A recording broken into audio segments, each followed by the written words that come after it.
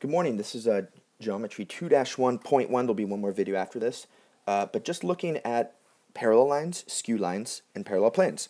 And uh, before we could get into the definition of these, we kind of just need to look at what are planes. And so uh, in front of us here, I'll label this. Let's call this plane ABCD, and this will be called um, EFGH. Okay. So a plane is simply just a two-dimensional area. So it's a two-dimensional area um, that exists in space, and I haven't drawn all the types of planes that uh, could exist. So just to show you other ones, uh, I could have drawn a vertical piece of paper, or you know, a piece of paper could be an example of what a plane is. So that could be another plane. Um, I could have drawn one that's, you know, looks like it's facing us. And again, though, uh, if you just tilted this a little bit, you're, le you're left with a, a new plane. Or if you tilt it a little bit more, a new plane. Or, you know, now it's almost flat, a new plane. So you can see anything in the spectrum is going to create, I mean, there's an infinite amount of planes that I could have drawn. But for our definition, we're just going to focus on plane uh, ABCD and plane EFGH. So just these two planes right here. So looking at parallel lines, uh, there's two parts of this definition. The first part is that they're coplanar. Coplanar means, and you might be able to figure it out, that lines exist on the same plane. So if we're just working on this first plane, here's line segment AB, and another line that is coplanar is line segment AD. Uh, these are not parallel, but they're coplanar.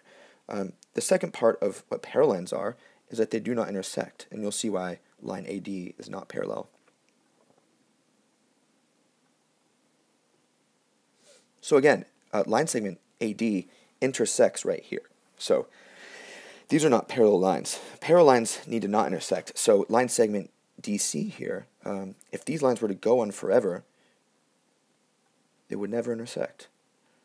And why is that? Um, it's because the space between them is preserved.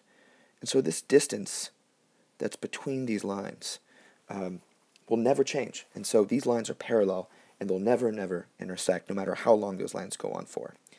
So just recapping again, um, you have they're coplanar, parallel lines, and they also do not intersect. Uh, now let's look at skew lines. So skew lines the first part is that they're non-coplanar.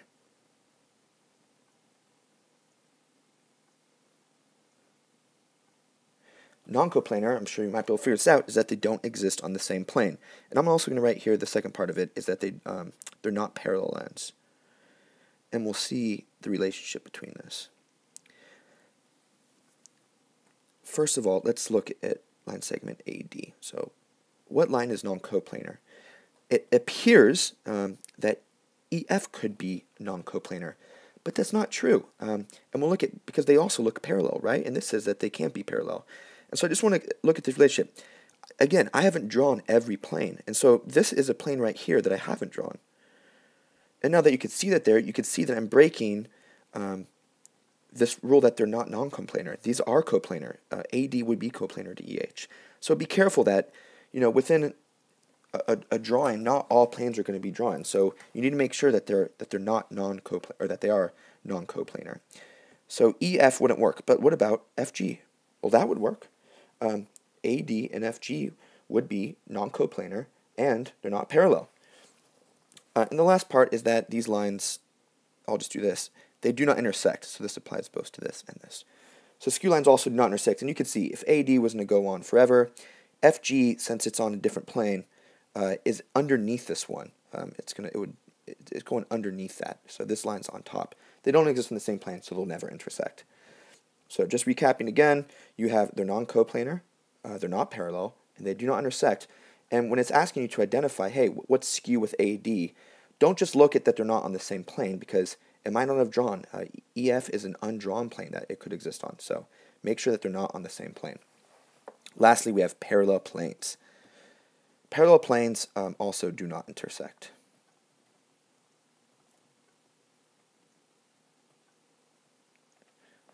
Um, so let's work with plane ABCD. So here's a plane.